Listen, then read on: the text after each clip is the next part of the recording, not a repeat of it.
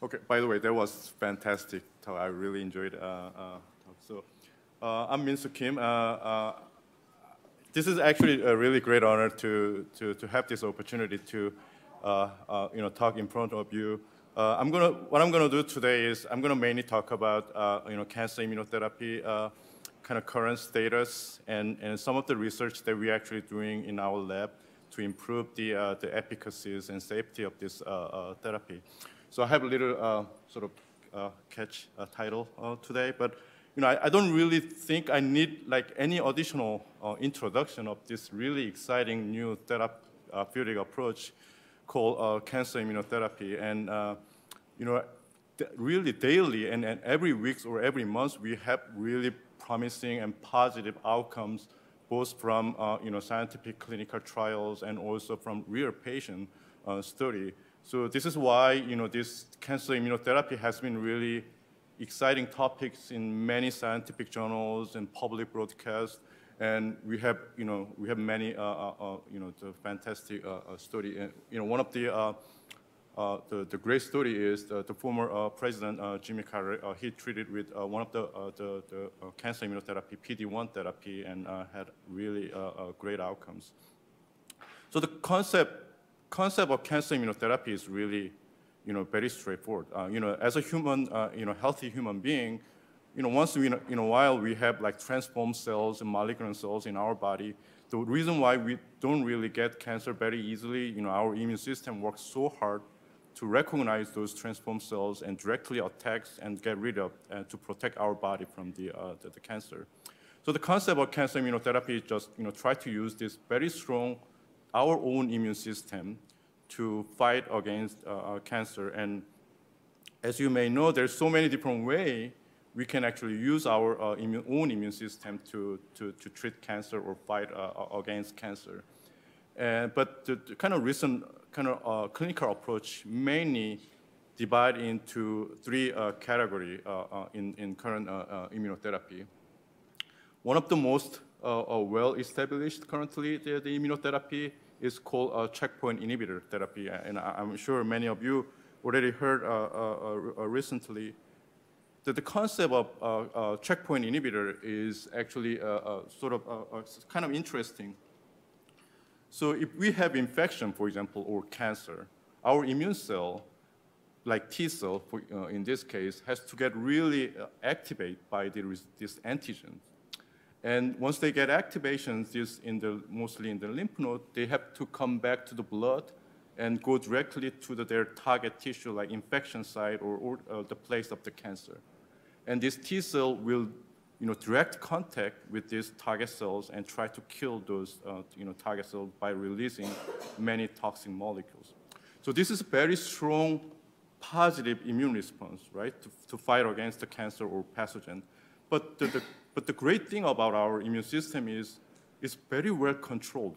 Whenever we have very strong positive response, we have to have this negative uh, feedback to have really define balance in our uh, uh, immune system because otherwise, I mean, you need positive immune response to treat uh, infection, but at the same time, you know, you don't want to have overactivated immune system because otherwise it will go to like, you know, very severe inflammations or autoimmune uh, uh, disease.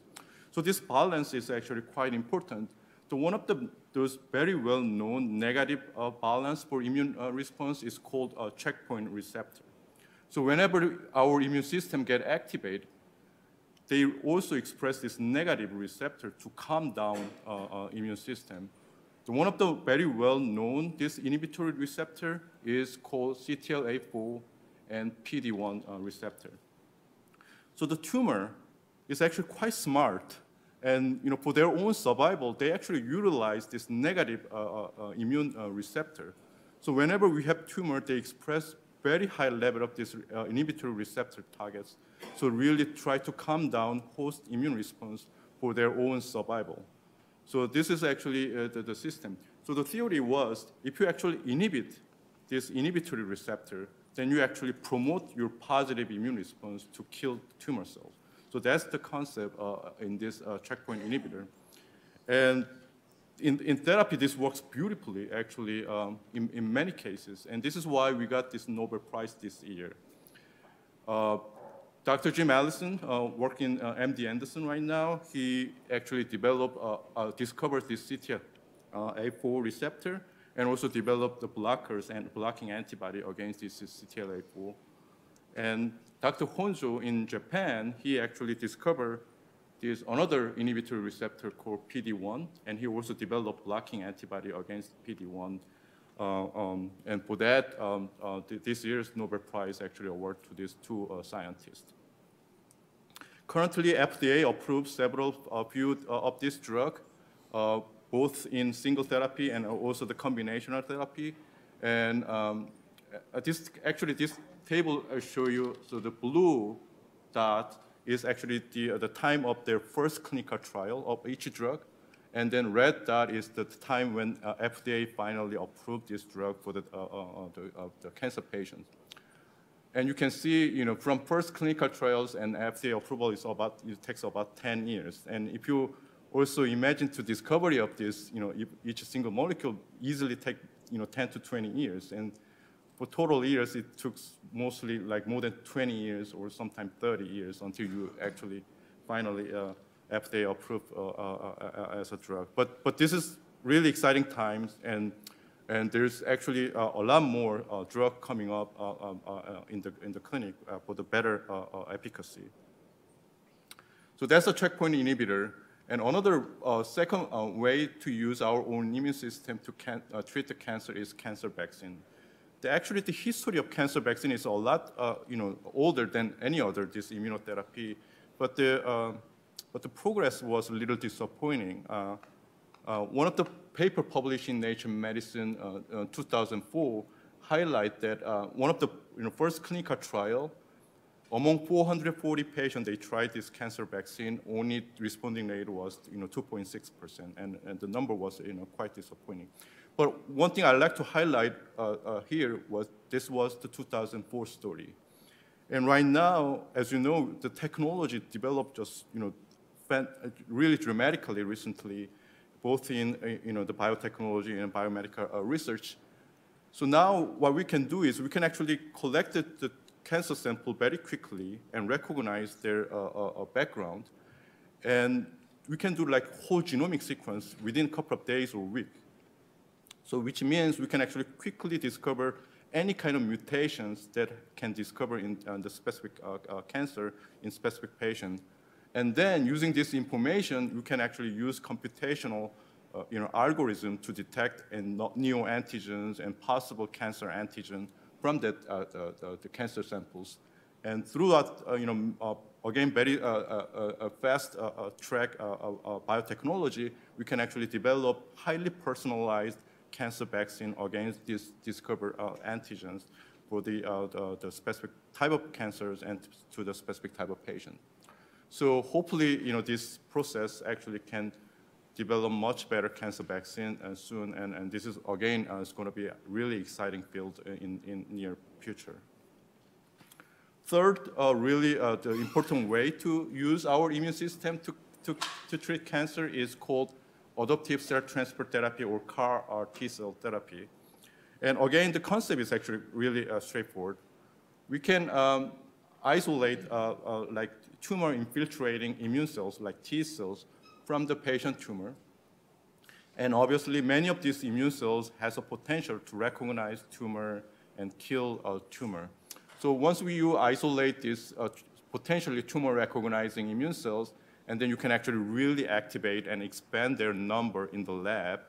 And once you got like millions or billions of these immune cells, and then now you can infuse this cell back into the patient body, and hoping that you know, these immune cells will circulate uh, throughout the blood and eventually will find tumor and, and kill uh, uh, those tumors. And also the outcome is actually really exciting from this uh, approach and another way you can improve this technology is called uh, CAR T cell therapy. So when you activate your or grow your T cells in the lab, you can actually use even genetic modifications to these cells so that these T cells now have this completely artificial receptor, like genetically modified receptor called chimeric antigen receptor to recognize target cancer better and kill uh, that cancer better. So this is just complete genetic engineering. And in, in most cases, this receptor, like artificial receptor, has a, a, a domain which can directly recognize uh, cancer antigen. And in the cell, it can really activate T cell so the T cells can kill tumor cell better. So this is called a, a, a chimeric antigen receptor. So you can actually introduce this genetic modification to your T cells and, be, and then transfer back into the patient body. And this T cell will do much better their job uh, uh, and, and by killing uh, their target uh, cancer. Just to give you one example about this CAR T cell therapy, this is one of the, uh, the experiments we did uh, in our lab. Um, you know, kind of simple. Um, I mean, it's not. I mean, it took years to, to set up this experiment, but what you can see here is we have this cancer cell, uh, uh, in the plate, which is uh, labeled by green color. And then you can see like there's small T cells around. So in this stage, T cells have no way to recognize this cancer uh, because you know there's no receptor to or, uh, in, in, the T cell surface. So if you just put them together, you know sometimes T cells uh, come to the tumor cells and touch a little bit, and it obviously doesn't do anything, and because there's no way uh, uh, for them to recognize this uh, cancer cell.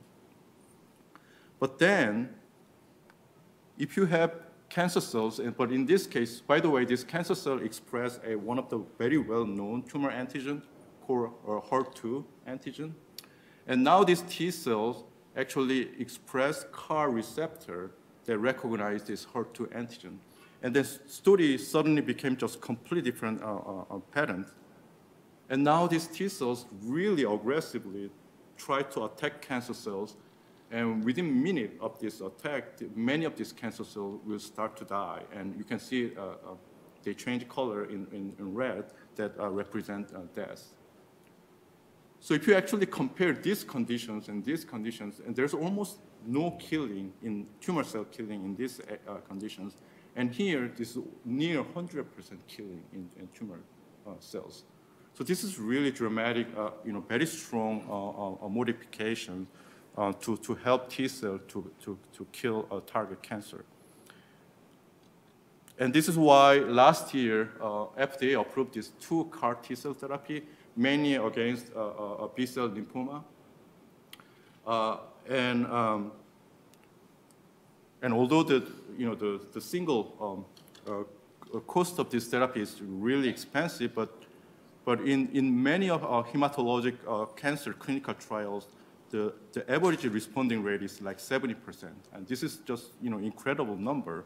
And I, I still remember one of the small clinical trials, it must be in, in a, uh, one of the, uh, in the Europe country, and they even have 90% responding rate uh, of this therapy. This is really uh, uh, exciting uh, approach. But the problem with this approach is it works beautifully in like you know lymphoma and leukemia, but but it doesn't really work in solid tumor like the breast cancer, brain tumor, and some other melanoma type of uh, cancer. So why this CAR T cell doesn't work, work which works beautifully in in in, in hemato, uh, uh, like lymphoma and leukemia, doesn't really work in solid tumor?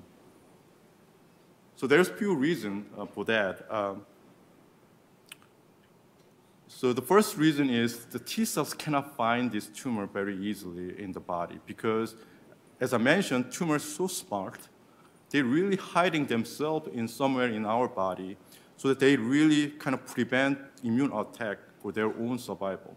So even though you sometimes infuse like you know, billions of cells or 10 billions of cells into the patient body, the number of T cells that get to the tumor site is really, really small, like much less than 1% or 0.1% of T cells can eventually get to the tumor site.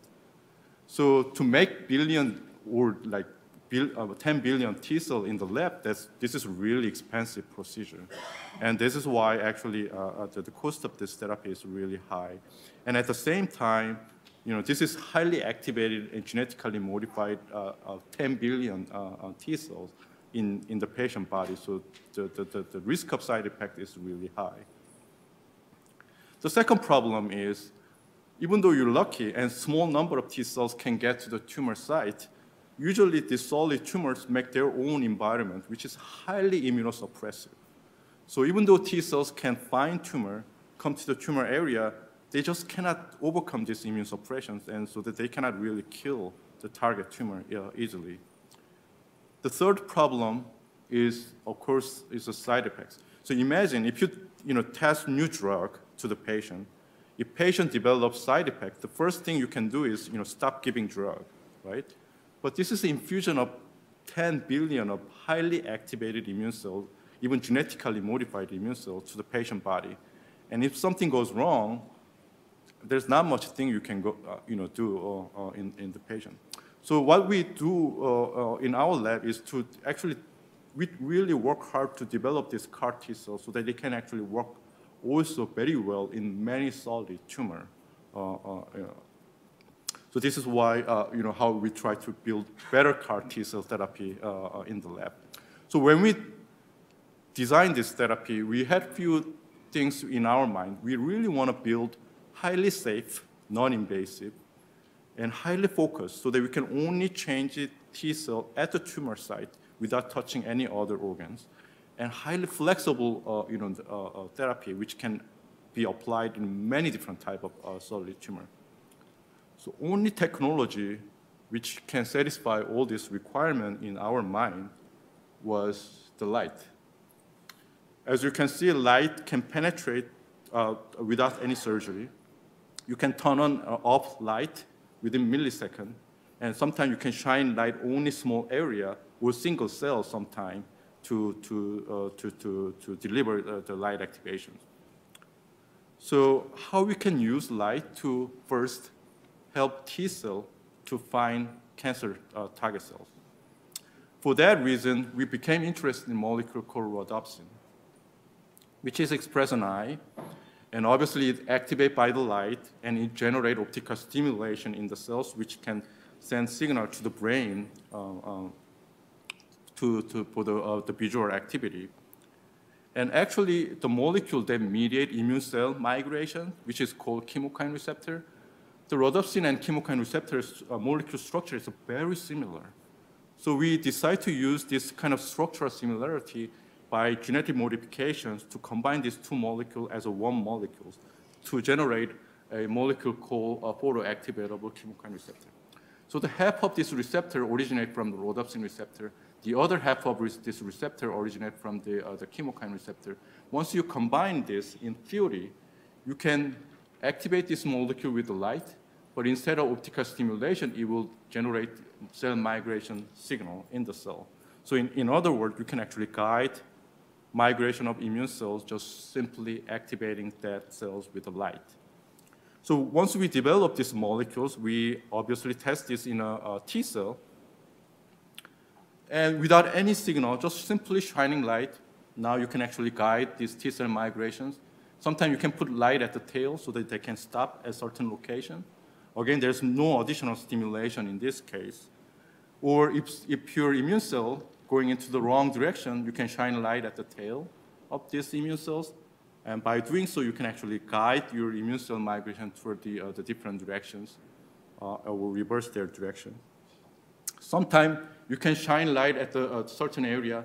Again, only T cell that has this molecule will see the light and come directly to the light and then stay. Sometimes you can actually shine a little broad area so again, only T cell that has this receptor will come directly to the light and then they stay. So the question is how we can apply this technology to eventually uh, patients. Um, you know, obviously we cannot go directly to the patient. Obviously we have to collect a lot more data from small and large animal uh, preclinical uh, trial. So, so this is how we do uh, uh, test this concept in, in a mouse model in this case. So in this study, the mouse has a melanoma in one of the skin of, of the ear. And then uh, we isolate T cells from this mouse. And then in the lab, we genetically modify their T cells so that they express this light sensing molecules and transfer back into the mouse body. And we attach LED on a, right on the surface of the melanoma, hoping that we can shining light at the tumor area recruit more T cell at the tumor area. So by doing so, we can actually reduce the tumor growth and kill more tumor. And this is how we do for daily experiments. So mouse carry this battery powered LED, catch right on the antenna. You know, this is, you know, mouse can even engage for like a couple of weeks and months carrying this LED. And whenever we, to make long story short, uh, whenever we shine light, we really dramatically uh, uh, reduce tumor growth and almost eradicate, uh, remove the tumors from many of our uh, mouse models. So we're very excited about these outcomes. Just like we use light, we can also help T cell overcome these immune suppressions uh, so that they can kill their target cell uh, better. Just very briefly, the, the, when T cells, in this case, kill their target uh, tumor cell, they really need calcium ion in their body because calcium ion is so important for T cell function so that they can release toxic molecule to kill uh, uh, target tumors. So we developed in the lab that we can boost this calcium uh, signals only in T cell with the light stimulation so that we can help T cell to overcome immune suppression and boost their immune response to kill their target better. To do that, we actually borrow molecule from green algae. So the green algae has a molecule called channel rhodopsin, which is light-sensitive calcium channels. So we got this DNA from green algae and again genetically modified these uh, molecules and, and transpack into the uh, T cells. And whenever, obviously, you know, if you don't have this receptor, cell really doesn't, you know, respond to light. But if you express these ion channels into the cells, just simply shining light, you can dramatically boost their calcium uh, uh, signals. So we also proved that we can actually really boost uh, immune response by using these molecules. In terms of side effects, how we can control side effects with the light, we are developing an on switch and off switch of T cell function with the light. Uh, again, uh, uh, very briefly, this CAR T cell receptor use this molecule and we actually redesigned these CAR T cell molecules and divide into two parts. And these two divided CAR T cell receptors never functional unless you shine light. So in a sense, you now actually can give license to T cell to kill their target tumors. Unless you shine light, even though T cells can recognize tumor, they cannot really initiate their uh, uh, toxic effects. Off switch, we're actually developing a kind of cell suicide mechanism so if something goes wrong and T cells overactivated, then we can again shine light to induce their own suicide mechanism so that they can kill themselves to get rid of uh, their own uh, uh, cells. Before I finish, the, you know, the, one of the kind of important concept here is all this mechanism can be controlled by simply shining light with different color. So for example, you can shine light uh, with the one color of uh, uh, light activation so that you can recruit this T cell to the tumor site. Once they arrive at the tumor site, you can turn on second light to boost their own immune response so that they can kill their tumor better. And then once they complete their job, now you can turn on third light to induce their suicide and they, they can kill themselves to get rid of their uh, uh cells from the, the, the, patient body. Again, this can be controlled by just simply using remote um, remote control to change color of light uh, and, and, and, hoping that we can actually uh, apply this technology uh, in the clinic uh, uh, uh, in the future. Before I finish, I just want to highlight that you know, you know, Rochester is actually a great place to do this kind of research. I mean, we, we feel very lucky. And as you know, the optic science in Rochester is one of the top in the world. And the cancer research in Rochester is a really active area. And then immunology is actually historically is very strong in Rochester. So our research, in a sense, this is combination of three different type of science, optic, and cancer research, and uh, immunology. So we really uh, uh, feel excited uh, uh, to be here and hoping that we have a lot more progress in the future for the uh, real therapeutic application. Thank you very much.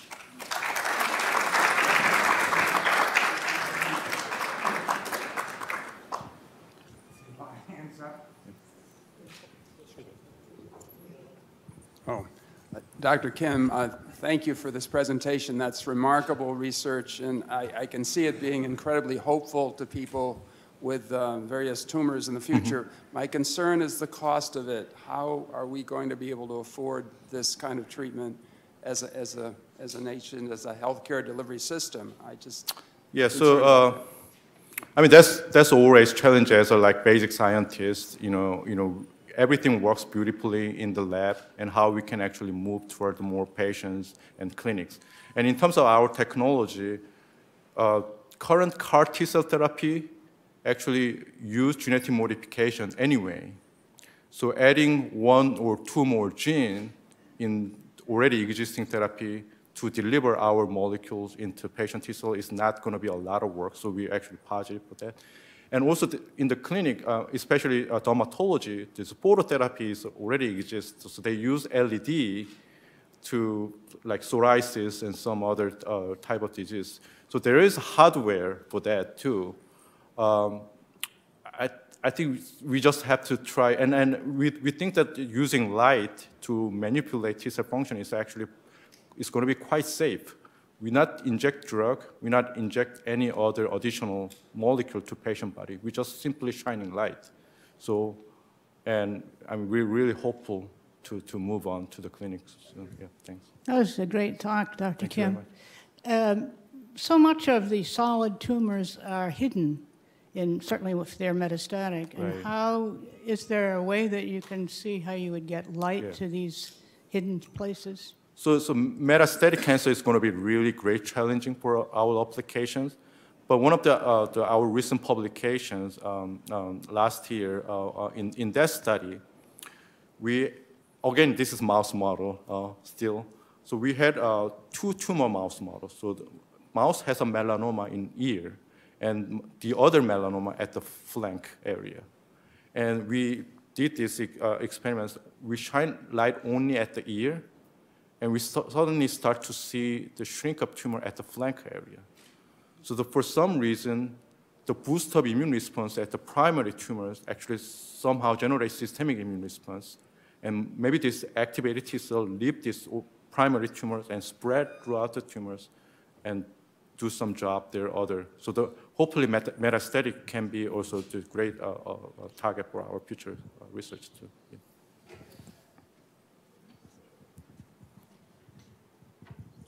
Yeah, just a quick technical question. Your um, light frequencies are highly absorbed Yeah. in normal tissue. Yeah. Can you get around that? Yeah, so that's, that's one of the, the biggest technical challenge we have.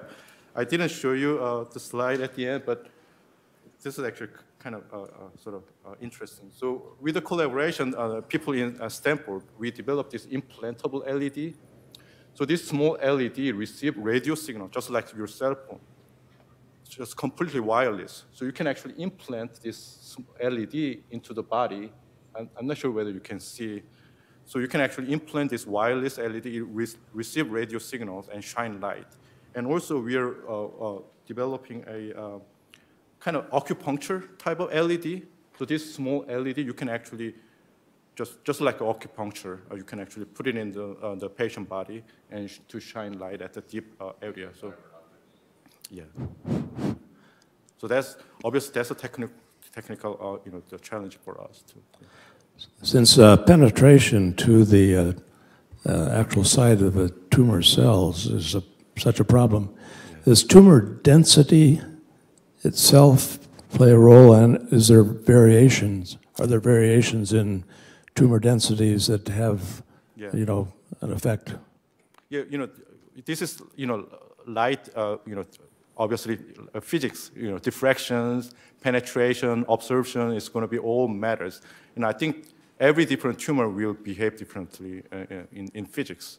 So the, you know, the melanoma, which will absorb many, uh, you know, light wavelengths, uh, might have even more uh, challenging. So, um, I mean, like I said, this is kind of engineering problem for us, and we really have to collaborate with the people in engineers to actually, you know, develop this hardware uh, uh, as well. So, we haven't really gone that far yet. So, Um, we know that all new therapies have liabilities and that, I'm over here, and that, um, uh, you know, there are going to be bumps in the road. But last week, you know, there was a report out of UPenn that in the CAR T, in a CAR T patient, uh, in the process of transforming the T cells, uh, leukemia cells also were transformed and that patient died.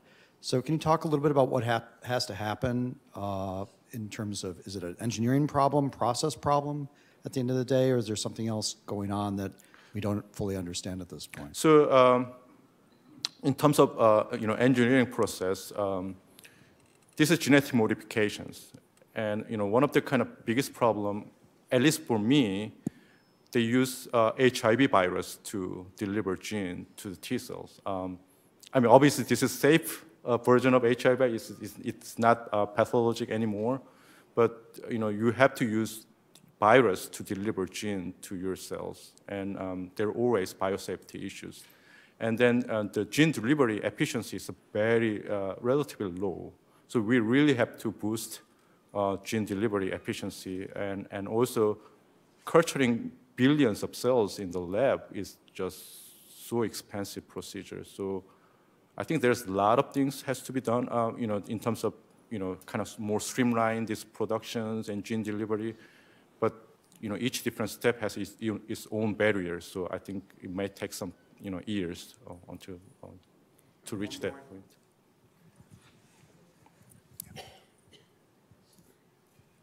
Dr. Kim, could you clarify as to whether or not the effectiveness of this very novel approach is dependent or independent of the genetic co- composition of the tumor cells? That's that's an extremely difficult question for me. Uh, uh, you know, as an immunologist, my understanding about cancer cell is like each cancer is different disease, and obviously, you know, each different cancer has completely different genetic backgrounds and modifications. Um, but you know, the, the strength of immune response is you know, you know, highly you know, flexible. So you know, the using immune system is actually is going to be uh, it might have better flexibility than the conventional therapy like the chemotherapies or radiotherapies. And the, the great thing about just genetic modification, depending on you know, the patient conditions and patient cancer type, we can easily and quickly uh, adapt this uh, approach. So there's, I think there's a high level of flexibility. Um, but you know, that's a really difficult question. I don't think I can really answer uh, to that question now. So, so yeah. Thank you very much. Thank you so much. Thank you.